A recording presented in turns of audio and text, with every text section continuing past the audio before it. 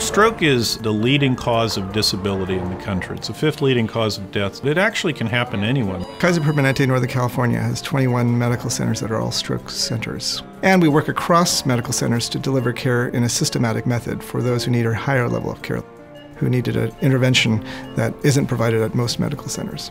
The challenge facing everybody in the stroke community is how do we identify people like Robert and deliver the care in an expedited fashion? At Kaiser Permanente, we've developed the Stroke Express project. Robert benefited from this new treatment program in that we were able to very quickly uh, treat him for his acute stroke.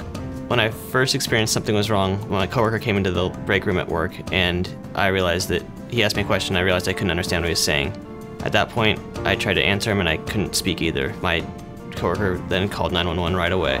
The um, ambulance service showed up, and I heard them radioing in that it was a stroke.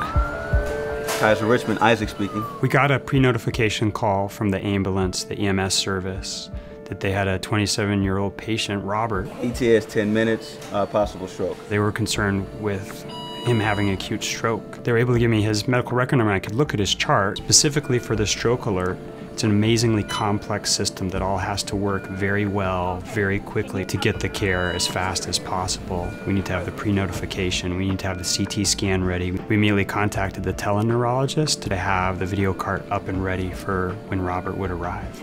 I remember the look in his eyes, how scared he was. When Robert rolled into the emergency room, uh, he had stroke-like symptoms. The stroke neurologist is available via teleconsult uh, in a two-way monitoring fashion where the neurologist leads the stroke code. Can you name the objects that you see there? And was able to perform rapid interpretation of all the data at hand. Once we collected all this information, we treated him with the clot busting drug, or TPA. And we also notified our Redwood City colleagues who would perform an intervention on him later in the day. Time is everything. We needed to save his brain by applying these concepts rapidly and efficiently so that we'd optimize his outcome. It was kind of surreal in the sense that there's all this going on for me. They were such a well-oiled machine. After I was done speaking with the teleneurologist, Dr. Fox, uh, I alerted the rest of our team and we started to get ready for Robert's arrival. The techs started to get the angio suite ready with all the equipment that we were going to need. What we did for Robert is a minimally invasive procedure where we placed a small tube or catheter in the artery starting in the leg and navigated up right to the blockage in the brain.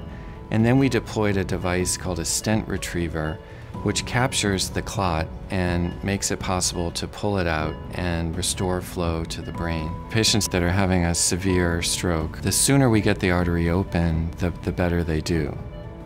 And my right hand went up as soon as they got the last bit out, and that's when I knew that I was gonna be all right.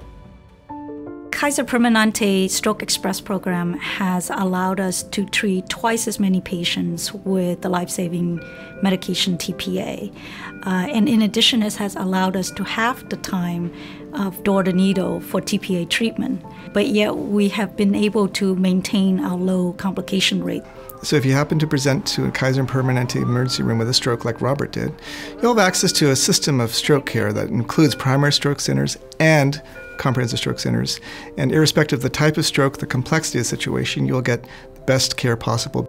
If everything hadn't come together the way it did, I could be paralyzed on my right side permanently. So I'm very happy for all the doctors and the teamwork and everything that went so smoothly for me and so fast. I'm back to dirt biking, jet skiing, wakeboarding, working, all that. It seems like it's such a trivial thing like to thank somebody, but that's all I can offer because it's my utmost thanks, you know?